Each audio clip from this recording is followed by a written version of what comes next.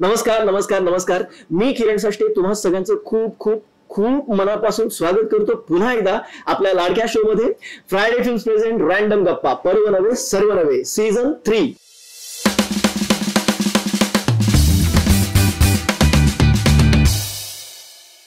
मंडळी अं, गेले दोन एपिसोड खूप मजा आली खूप धमाल आली. वे दोन वेगळे पाहुणे होते नवीन पाहुणे होते त्यांच्यावर गप्पा मारली. आणि आजच्या आपल्या तिसऱ्या एपिसोडसाठी सुद्धा एक खास आपल्या अलिबागची शान आपल्या अलिबागचा तारा आहे.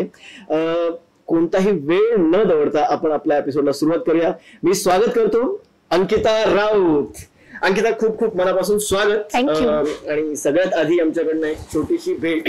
अं, तू जे काही आता वेगवेगळी गाणी करतेस ऍव्हरेजली महिन्याला चार गाणी. त्यासाठी आमच्याकडे एक सदिच्छा भेट आहे. खूप भारी वाटलं. तू रॅन्डम गप्पामध्ये आली आहेस फायनली आणि आपण गप्पा मारणार आहोत. सो कसं वाटतंय? तुला कसं वाटतंय? ते आधी सांग.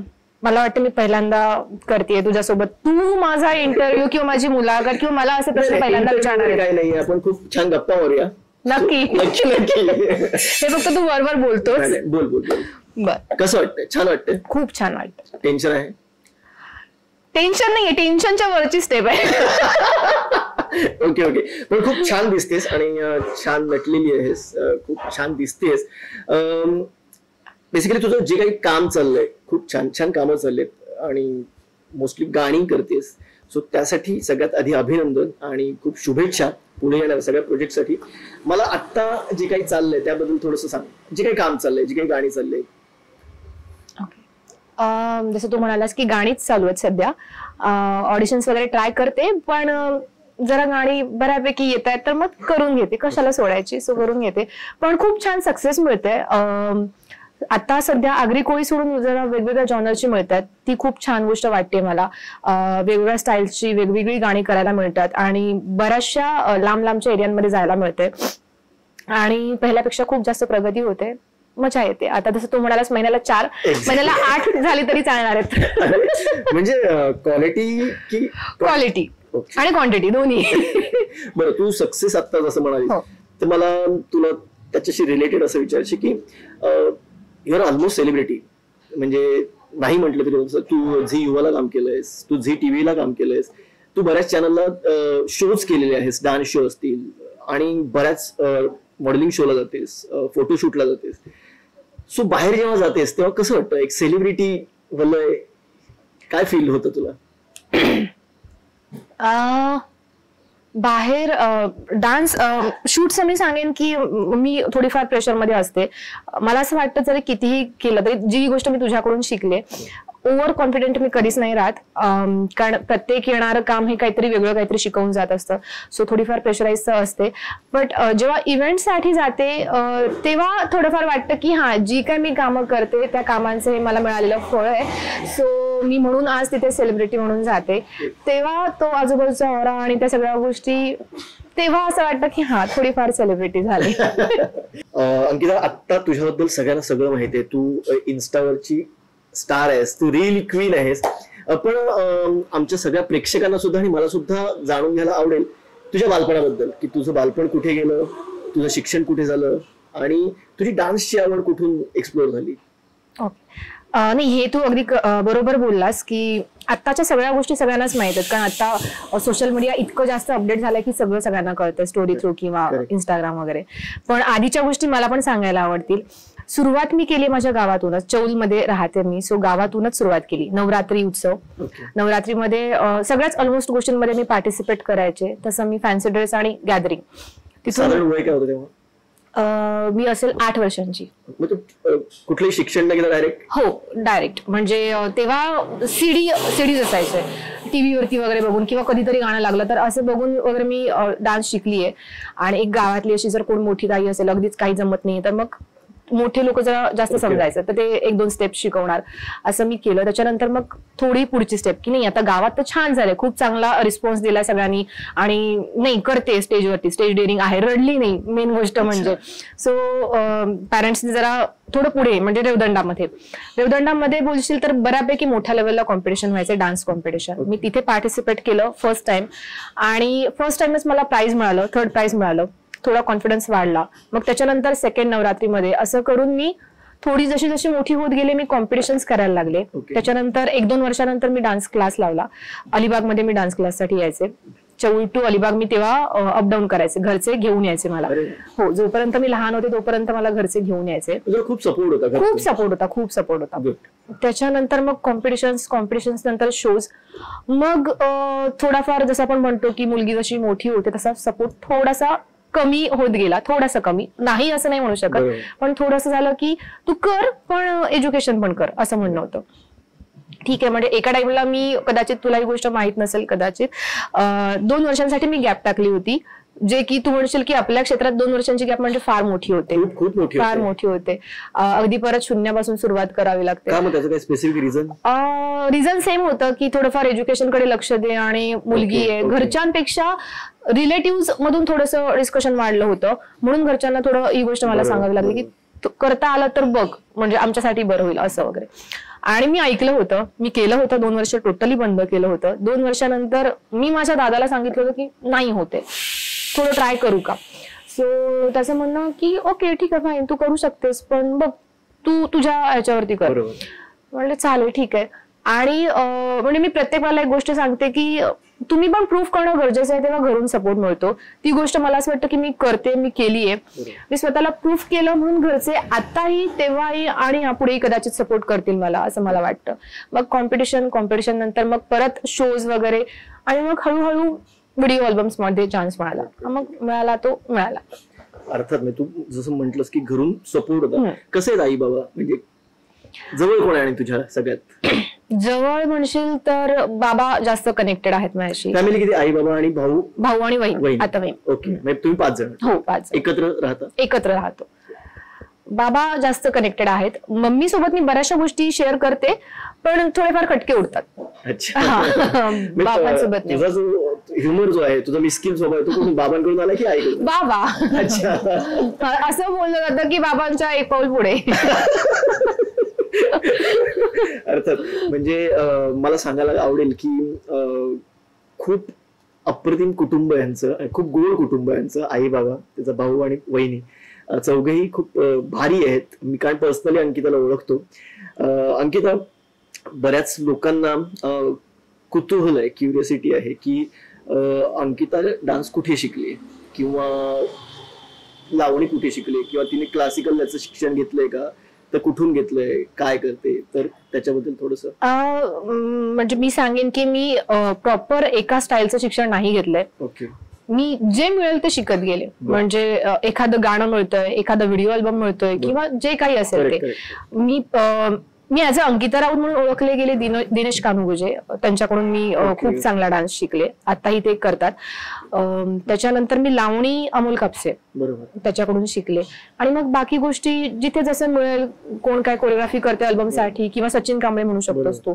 असं मी सगळं शिकत गेले. पण एक स्टाईल मी नाही शिकली. हा पण ती कोणतीही स्टाईल शिकण्याची मी कुवत ठेवली. की मला जमेल मी करू शकेन मी हा कॉन्फिडन्स दाखवला. सो मी आता बऱ्यापैकी करते. ओव्हरऑल म्हणजे तुझ्या परफॉर्मन्समध्ये कोणाची झलक नाही दिसत. ती तुझी छाप असते. म्हणजे ते तुझं क्रेडिट आहे कदाचित. हो. म्हणजे ही गोष्ट मी डोक्यात ठेवून चालते की मी काय आहे ते लोकांना दिसलं पाहिजे. ओके. म्हणजे कॉपी करणं ठीक आहे पण आपण दिसलो पाहिजे समोरच्याला. करेक्ट ज्यांनी शिकवलंय त्याचे तुम्ही दाखवताच आहे कला पण तुम्ही काय आहात ते दिसलं पाहिजे तुम्ही तुमच्या वेळेने करा. गरजेचं नाही ऍज इट इज कॉपी करून दाखवलं पाहिजे. बरं तुला गड किल्ल्यांची ब्रँड अम्बॅसिडर असं कोणीतरी पदवी दिली तर काय गोष्ट आहे ती? म्हणजे सोनाली कुलकर्णी. सोनाली ताईने दिली होती अप्सरा आली शो मध्ये. त्याचं रिझन आपले अं, गडकिल्ले अं, जी काही गाणी केली कुलाबा किल्ला आणि. हा खांदेरी कुलाबा किल्ला. आणि आपलं शिवनेरी वगैरे. त्याच्यामुळे आणि सलग अल्बम आले तिन्ही. तीन वर्षाला तीन अल्बम आले किल्ल्यांवरती आले. हिट होते. तिन्ही हिट होते. गड त्याच्यामुळे किल्ल्याची ब्रँड हा. आणि त्याच्यानंतर मग आली शेठ लावणी हो मग शेठ लावणीनंतर ते काय एक म्हणजे प्रॉपर एक बेंचमार्कच झाला म्हणजे लावणी कोणी करायची तर अंकित राऊत हो. असं एक कारण आता ट्रेंडच चालू झाला होता की रोमॅन्टिक गाणी. म्हणजे तू बघितली असेल सर्रास रोमॅन्टिक गाणी. अगदी जरा ट्रेंड सोडून जर एखादं गाणं येतं ते पडणार. लावणीबद्दल पण तसंच होतं. मी लावणी ऐकली होती पहिली. मी प्रत्येक गाणं ऐकून करते. आणि लावणी ऐकली होती. अपेक्षाच नव्हती अजिबात की लावणी जाईल. कारण सवालच येत नव्हता. लावणी ऐकणं म्हणजे जुने लोक ऐकणार किंवा मोठे लोक ऐकणार. आताच आपलं जनरेशन नाही ऐकू शकत. आणि लावणीने लगेच पिकअप नाही पकडला. लावणीने हळूहळू पिकअप पकडला. सो ती असं मला वाटतं की नॅचरल गोष्ट झाली. आणि त्यानंतर मला सांगायला आवडेल की त्यानंतर बऱ्याचशा लावण्या आल्या. मूवीज म्हटलं म्हणू शकशील तू. म्हणजे चंद्रा वगैरे त्यानंतर आल्या बरोबर. सो मला ही गोष्ट प्राऊडने सांगायला आवडेल की कदाचित हाऊसेट लावणी सगळ्यांपर्यंत पोहोचली इंडस्ट्रीपर्यंत पोहोचली असेल सो त्यानंतर ह्या सगळ्या गोष्टी आल्यात. आणि लावणीने बरंच काही काही दिलं गुड गुड गुड अंकिता म्हणजे प्रेक्षकांसोबत मलाही ती क्युरियोसिटी आहे की तुम्हाला सगळ्यांनाच माहिती आहे की अंकिता राऊत हा एक ब्रँड झालेला आहे. म्हणजे ती एक इन्फ्लुएन्सर आहे. म्हणजे आजच्या भाषेत आपण बोलतो ना की इन्फ्लुएन्सर्स सो ती सुद्धा एक इन्फ्लुएन्सर आहे. अंकिता काय सांगशील तू? जेव्हा इन्फ्लुएन्सर म्हणजे तुझ्याकडे बघून कित्येक मुली कित्येक आपण मुलीच बोलू कारण त्याला शे- हम्म. सो त्या तुला फॉलो करत असतात. काय सांगशील त्याला? म्हणजे तुला काय वाटतं? तू एक तू एक ब्रँड अम्बॅसिडर आहेस किंवा ब्रँड अम्बॅसिडरपेक्षा तू एक त्यांची आयडॉल आहेस. सो तुला काय काय सांगशील आणि तुला काय वाटतं? ह्या क्षेत्राबद्दल म्हणजे म्हणशील सांगायचं झालं तर जर त्यांना इच्छा असेल ह्यामध्ये करायची तर नक्की करावं. पण मला असं वाटतं की कुठेतरी ना आपण स्वतः ओळखलं पाहिजे की आपली कुवत कुठपर्यंत आहे Exactly. आपण कितपत करू शकतो कसं आहे एखादी गोष्ट नसेल जमत किंवा जसं आपण म्हणतो घरून सपोर्ट. नसेलच ना तर त्या गोष्टी मागे हात धुवून लागण्यात किंवा. फोर्सफुली ती गोष्ट करण्यात काहीच अर्थ नाही मला वाटत. चार लोकांची मनं दुखवणं स्पेशली घरच्यांची मनं दुखवून आपण कुठेतरी काहीतरी त्रागा करून जातो पुढे पण त्या गोष्टीला मला नाही अर्थ वाटत तुम्ही टाइम घ्या तुम्ही स्वतःला प्रूफ करा तुम्ही घरच्यांना पहिला प्रूफ करा आणि मग तुम्ही पुढे जा. ऑटोमॅटिक यश मिळतं आणि खूप इझिली यश मिळतं सरळ रस्त्याने जाऊन यश मिळतं. जे की तुम्ही नाही घरी भांडण करून मी जाणार किंवा कुठेतरी काहीतरी कॉम्प्रोमाइज करून जाणार. मला त्याच मुद्द्यावर यायचं होतं. म्हणजे ऑटोमॅटिक किंवा कोणतंही ऍडजस्टमेंट न करता यश हो. मिळतं. बेसिकली आपल्या इंडस्ट्रीमध्ये मुलींच्या बाबतीत हे. बोललं जातं. तर तुला कधी कसा अनुभव आलाय का? काही? मुलगी म्हणून तुला वाईट अनुभव आलाय का? किंवा मी एक्सपिरियन्स घेतला असं मी नाही बोलणार. पण अं, समोरच्याच्या बोलण्यातून मला एक दोन वेळा असे काही गोष्टी घडल्या की मला जाणवलं. पण मला असं वाटतं जर तुमची मर्जी नसेल ना. किंवा तुमचा हेतू नसेल किंवा तुमच्या चेहऱ्यावरच जर नसेल ना तर समोरचा विचारताना पण तितक्या कॉन्फिडेंटली नाही विचारत. तो इनडायरेक्टली विचारतो. तो अडखळतो विचार आपलं वागणं किंवा आपलं व्यक्तित्व तसं हवंय. हो. आणि आपलं काम पण तसं हवंय. की आपण काय करतो आपण काय बोलतो किंवा आपण समोरच्याला काय दाखवून देतो. करेक्ट करेक्ट कधी कधी असं होतं की आपणच समोरच्याला दाखवून देतो की नाही मला या गोष्टीची गरज आहे. गरजेचं नाहीये. स्वतःवरती विश्वास ठेवा तुम्ही स्वतःचं काम इतकं चोख करा की समोरच्याला नाही मला हिच्या सोबतच काम करायचं अं, अंकिता म्हणजे तू आत्ता जी काही बोललीस त्याच्यानं त्याच्यावरनं मी तुला आता इतकी वर्ष ओळखतोय आणि तू ज्या पद्धतीने हा अप्रोच आणि हा ऍटिट्यूड कॅरी केलेस सांभाळलाय स्वतःला आणि प्रेझेंट केलेस हे खूप अप्रिशिएबल आहे. आणि त्यासाठी मी खरंच तुला मानतो किंवा वयाने जरी मी तुझ्यापेक्षा मोठं असलो किंवा तू लहान असलीस माझ्या तरी मी त्या बाबतीत तुला मानतो. आणि ते त्याच्यात कमीपणासारखं काहीच नाहीये. म्हणजे मला सु- आत्ता इथे एक मेन्शन करायचं की खूप कमी लोकांना माहिती आहे की अंकिता खूप उत्तम अभिनेत्री सुद्धा आहे. म्हणजे ज्या पद्धतीने तुम्ही तिला व्हिडिओज मधून किंवा अल्बम्स मधून किंवा फोटोशूट मधून बघता ते तर आहेत. पण अभिनेत्री म्हणून ती काय ताकदीची आहे हे तिला जवळून पाहणं ज्यांनी पाहिलंय किंवा का- त्यांच्यावर काम केलं त्यांना माहिती आहे. अंकितच म्हणजे माझ्यासारख्यांना एक असं हे आहे की तू काम का नाही करत? त्या म्हणजे ऍक्टिंग वाईज जास्त काम का नाही करत? तुझा जास्त भर डान्सवर असतो फोटोशूटवर असतो मॉडेलिंगवर असतो तू किती चांगली ऍक्ट्रेस आहेस हे हे मला सांगण्याचं काही गरज नाहीये. हे मला माहितीच आहे. मी शिकलेच तुझ्याकडून आहे. शिकले असं नाही पण तू खूप उत्तम अभिनेत्री आहेस. पण मी मी म्हणेन की मी इन्स्पायर तुझ्याकडून झाले या गोष्टीसाठी. याआधी मला चान्स मिळाले बट असं वाटतं मला की ते तेवढा पुरते होते की हे प्रोजेक्ट आहे सो त्या प्रोजेक्ट पुरतं तू ते काम कर ऍक्टिंगचं मी म्हणेन. पण तू ह्या फील्डमध्ये पुढे जा. हे सांगणारं मला मला असं वाटतं की मी सांगेन की पहिला माणूस तू आहेस. मी आता ऑनस्क्रीन पण सांगेन की तू तू ह्याच्यात जास्ती काम कर. म्हणजे हो. लोकांना सुद्धा बघायचं आहे कारण तू वेगवेगळं काम कारण तू डान्समध्ये सुद्धा किंवा जी अल्बम्स येतात त्या सुद्धा व्हरायटी देतेस. हो. तू एक कोळी कोळी असं नाही केलं. तू वेगवेगळी गाणी हो. तू रोमॅन्टिक गाणी केलीस. तू वेगळी गाणी सो तू ट्राय कर ह्याच्यात सुद्धा. अं, खूप छान गप्पा चालल्या लागला आणि जसं आपल्या ह्या शोची थीम आहेत की कॅज्युअल गप्पा आहेत. इट्स नॉट इंटरव्ह्यू और असं काही हे नाहीये. खूप सिम्पली गप्पा आहेत चॅट आहेत.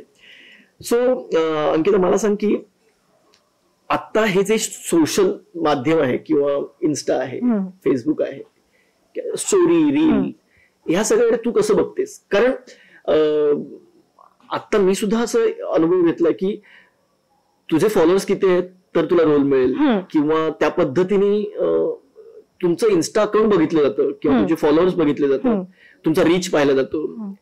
सो तुला तू कसं याच्याकडे सगळ्याकडे बघतेस? कारण तुझं मिलियनमध्ये आता काहीतरी फॅन फॉलोईंग आहे.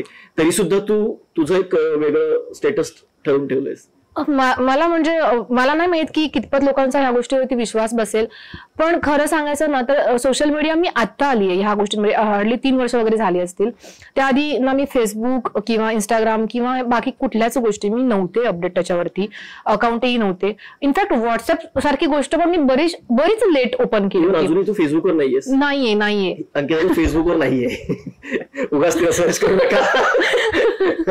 त्याच्यामुळे मला नाही फारसा फरक पडत. त्या गोष्टींचा.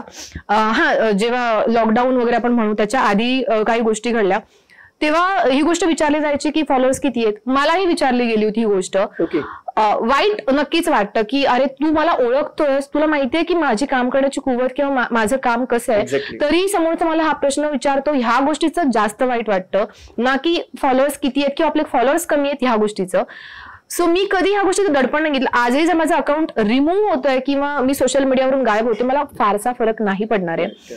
मला असं वाटतं की जी माणसं माझं सोशल मीडिया बघून मला काम देतात ना ती मला आयुष्यात पुढे नाही नेऊ शकत.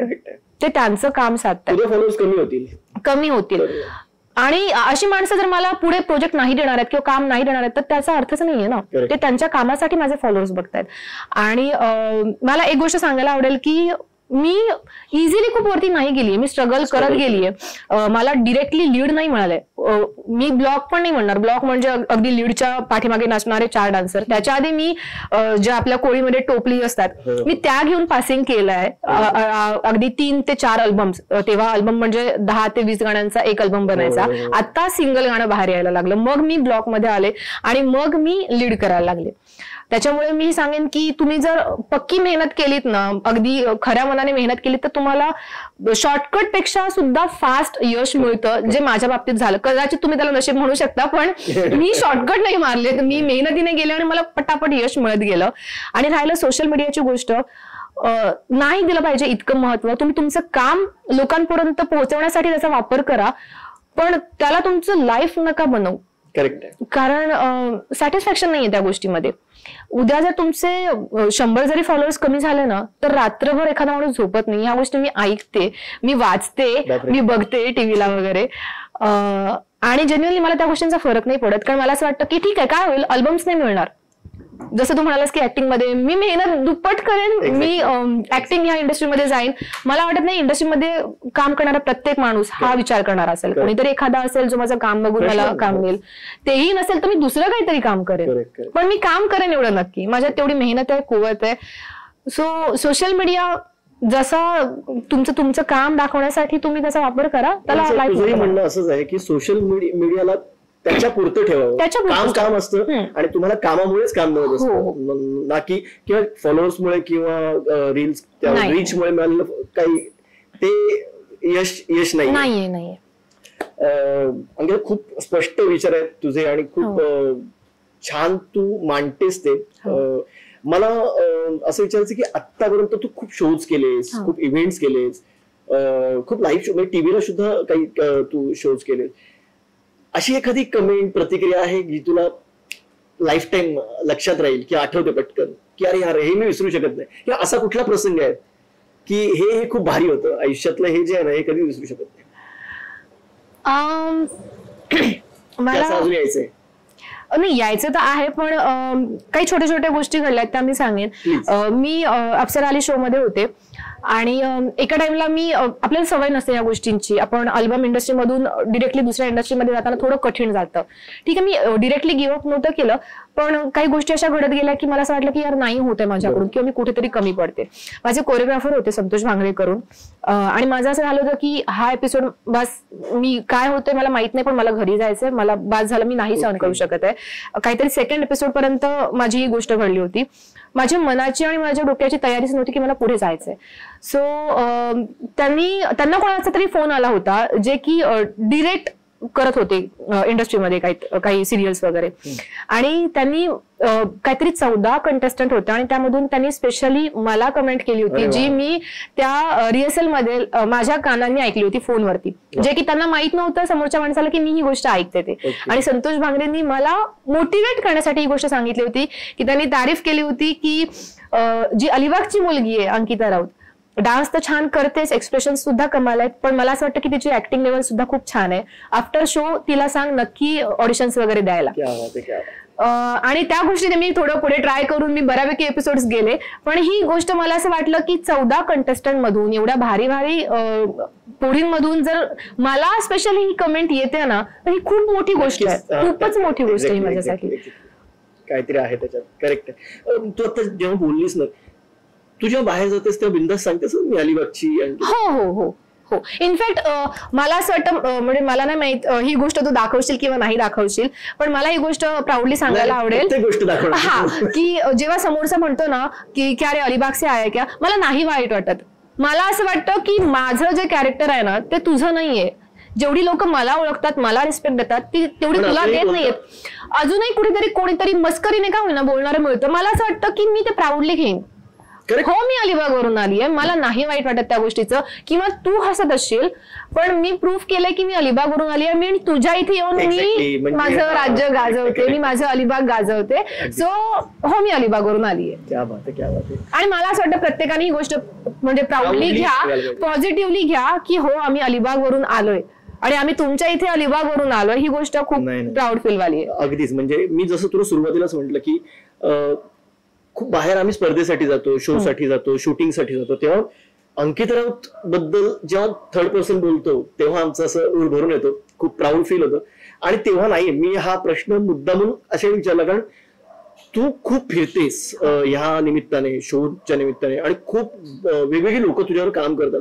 सो त्यांचा बघण्याचा दृष्टिकोन आणि अलिबाग नाव काढलं की एक थोडस आज अलिबागची इतकी माणसं काम करतात इंडस्ट्रीमध्ये आणि फक्त डान्स किंवा ऍक्टिंग नाही तर सगळ्या क्षेत्रात काम करतात आणि खूप उत्तम काम करतात सो तसं काही राहिलेलं नाहीये. तरी सुद्धा म्हणजे अंकित राऊत हे एक उत्तम आणि चपकन उत्तर आहे सगळ्यांसाठी की अली अंकिता अलिबागची आहे.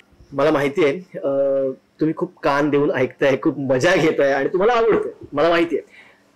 आणि तुम्ही कशाची वाट बघताय हे सुद्धा मला माहिती आहे. तेव्हा तुमच्या मनातला प्रश्न प्रश्न माझा नाहीये त्यांच्या मनातला आहे. सो मी फक्त तो विचारतो हिला. अंकिता लग्न कधी करणार आहे? वाटलं आणि अंकिता लग्न करणार आहे तर अंकिताचा आता कोणी बॉयफ्रेंड आहे का? हे मी नाही विचारलं ते- प्रेक्षकांचं आहे. मला मी आपलं विचारलं तुमच्या वतीने मी विचारलेलं आहे. बरं असता आणि तरी मी नसता सांगितला. नाहीये. म्हणजे ह्या प्रश्नाला तू पास असं पण नाही करू शकत तुला उत्तर द्यायला हो हो मी नाहीये. नाहीये. हा पण असता तरी पण मी नसता सांगितलं पण नक्की. नाहीये. सध्या तरी अंकिता सिंगल आहे. सो तुम्ही ट्राय करू शकता. पण लग्नाची खूप जास्त घाई लागली आहे घरून सो जरा लवकर ट्राय करू शकता. बघा तुम्हाला म्हणजे आपण काय स्वयंवरचं निमंत्रण देतो ना तसं रॅन्डम गप्पाच्या सेटवर तुम्हाला निमंत्रण मिळालेलं आहे की घरून लग्नाची घाई सुरू आहे. तुम्ही हो. पण अंकिता जोक सपाट मस्करीचा भाग सोडला तर काय प्लॅनिंग आहे तुझं? म्हणजे तू फ्युचर प्लॅन कसं केलंस? आणि इतकी उत्तम डान्सर उत्तम अभिनेत्री आणि एक खूप छान परफॉर्मर भविष्य आम्हाला तशीच पाहायला मिळेल की काय तुझं प्लॅनिंग वेगळं आहे काय म्हणूनच मी अजून थांबली आहे सांगायचा उद्देश आहे की लग्न मी खरं बघशील तर लेट झाला आहे पण मला ह्याच गोष्टीची अपेक्षा आहे. माझ्या फ्युचर मधून की मला माझं काम थोडंसं का होईना मला पुढे करायचंय. सो मला असाच लाईफ पार्टनर हवा आहे की मला माझं काम पुढे पुढे पुढे नेता येईल. कॅमेऱ्यासमोर रॅन्डम गप्पाच्या सेट वरून मी तुम्हाला इथे सांगतोय की अंकिताकडे यंदा पुढच्या वर्षी त्याच्या पुढच्या वर्षी कर्तव्य आहे. घरून घाई सुरू आहे. सो तुम्ही तिने सांगितलेलं आहे मला कसा लवकरात लवकर. लाईफ पार्टनर कसा पाहिजे तेही सांगितलेलं आहे. जर तुम्हाला अधिक माहिती पाहिजे असेल तर मग पर्सनली तुम्ही कॉन्टॅक्ट करा. किंवा त्याच्या घरी कॉन्टॅक्ट करा. सो तुम्ही क्यू मध्ये आहात. आप कतार में हो. अच्छा. अंकिता आपण आता आपल्या शोच्या किंवा आपल्या या कार्यक्रमाच्या आपल्या एपिसोडच्या शेवटच्या भागाकडे आहोत. खूप छान गप्पा झाल्यात. खरं तर थांबायची इच्छा नाहीये. पण वेळेची मर्यादा आहे. कारण आता आपण जिथे आहोत ना ते एक रेस्टो कम कॅफे आहे. हॅशटॅग म्हणून नाव आहे. तुला बेसिकली कसं वाटलं हे? ही जागा कशी वाटली? जसं तू म्हणालास की मी अलिबागमध्ये सध्या थोडी कमी आहे. मी पहिल्यांदा आली आहे पण मला भारी वाटलं बघून की अरे अलिबाग डेव्हलप होत आहे कारण गज एवढं प्राईम ठिकाणी असून हो, हो, हो. समुद्राच्या अगदी हो. दोन मिनिटावर आहे. तरी सुद्धा इतकी शांतता आहे. शांतता. आणि खूप अं, त्यांनी आणि अँबियन्स सगळं नॅचरल आहे. एक्झॅक्टली खूप नॅचरल म्हणून आम्ही ठरवलं की नॅचरल ठिकाणी नॅचरल गप्पा मारायच्या. सो हॅशटॅगमध्ये आहोत आपण. आता आणि अं, खूप छान त्यांनी आदर इथे केलंय.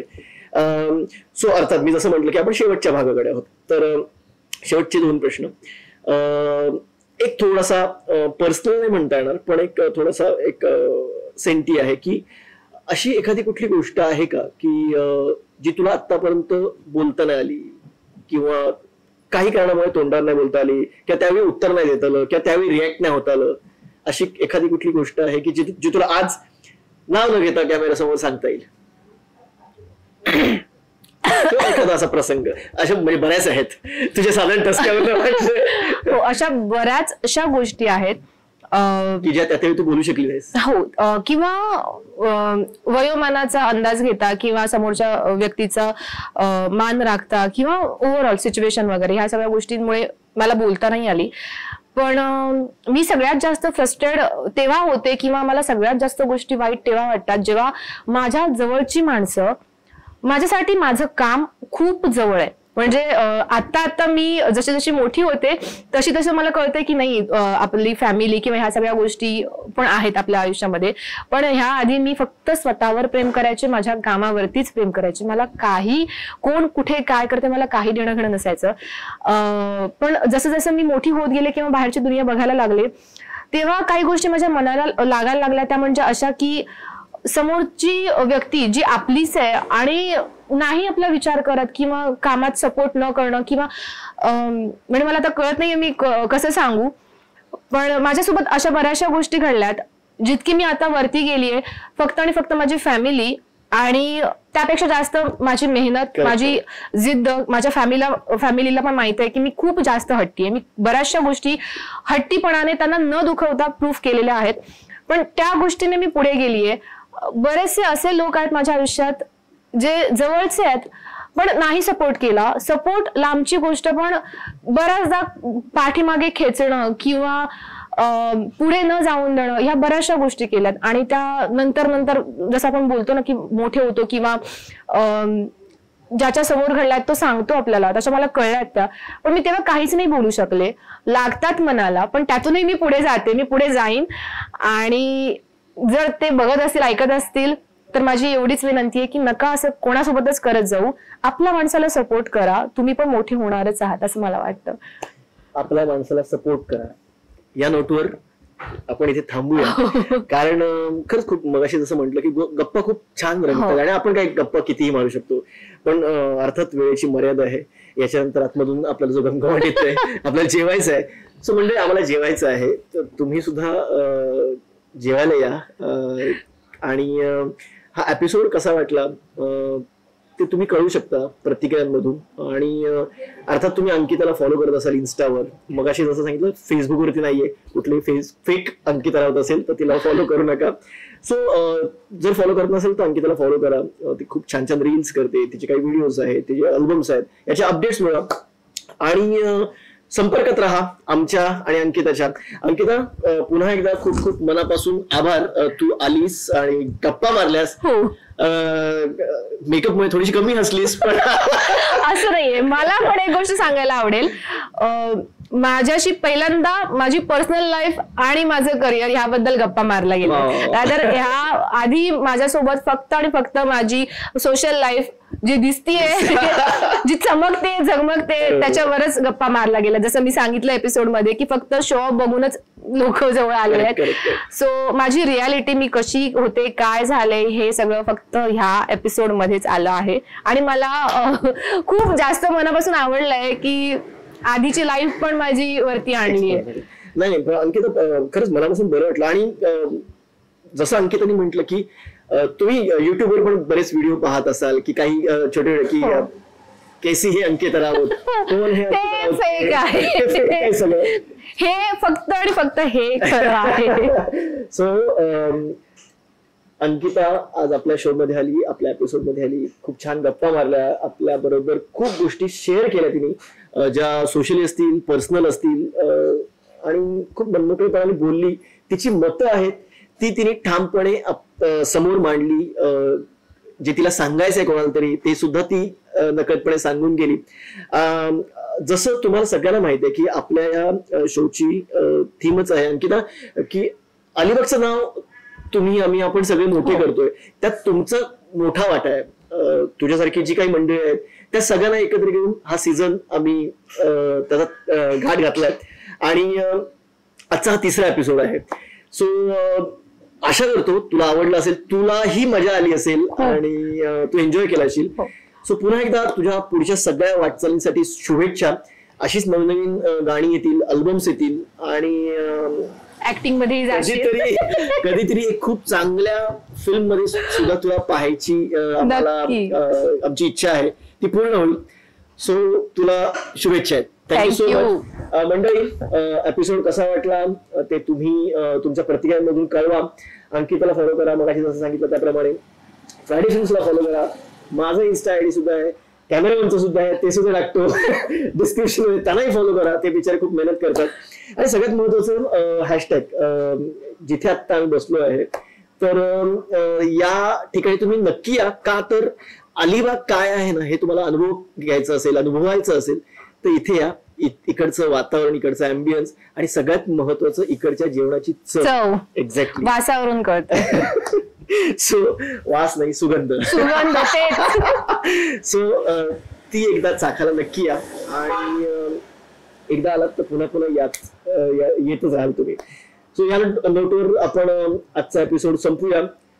पुन्हा भेटूया पुढच्या एपिसोडमध्ये जो असेल चौथा एपिसोड असाच अलिबागचा तारा अलिबागची शान आणि अलिबागचं नाव मोठं करणारं आणखीन एक नाव त्याच्याशी गप्पा मारणार आहोत. भेटूया पुढच्या एपिसोडमध्ये तोपर्यंत बाय मजा करा.